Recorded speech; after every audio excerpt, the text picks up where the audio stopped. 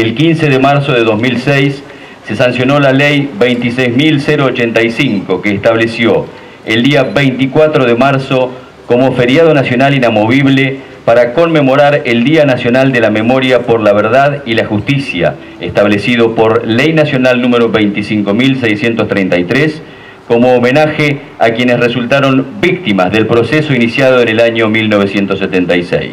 Una vez más recordamos lo que es el Día por la Memoria, la Verdad y la Justicia, el día 24 de marzo, con la alegría de ver la participación de muchas fuerzas vivas y de mucha gente en el acto. Si bien es un feriado largo, a veces esto atenta contra este tipo de actos, en los que son conmemorativos especialmente, así que muy contento y muy satisfecho, tanto por el desarrollo del acto como de la presencia de los vecinos de la localidad.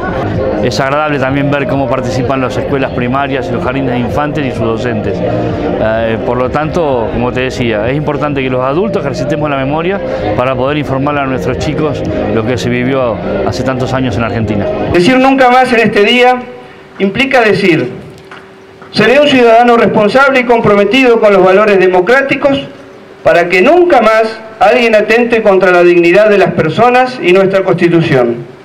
Este nunca más es para que tengamos memoria que la verdad y la justicia es de todos los días si cada uno cumple su rol de ciudadano, en homenaje a todos los mártires desaparecidos y a sus familias, y para que esos niños, que hoy son adultos y que fueran arrebatados salvajemente de sus padres, se reencuentren con sus seres queridos. Más oportunas que nunca las palabras del señor secretario, tanto como la reflexión final con la que terminó su discurso, eh, citando a quien fuera el fiscal del juicio de la Junta, el doctor Julio Estracera. Eh, así que un día realmente para, para ejercitar la memoria eh, y con alegría.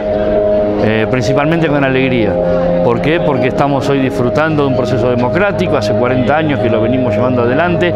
Justamente este mausoleo que se, se, realizó aquí atrás de mis espaldas, donde es un símbolo tan importante para la democracia, que sea justo en el edificio del Consejo Deliberante de Villa Langostura. Así que, ¿qué más decirte? Acompañar ahora a los atletas eh, que van a participar de la carrera y vivir este día con alegría, pero sin olvidar, ejerciendo la memoria. Municipalidad de Villa Langostura.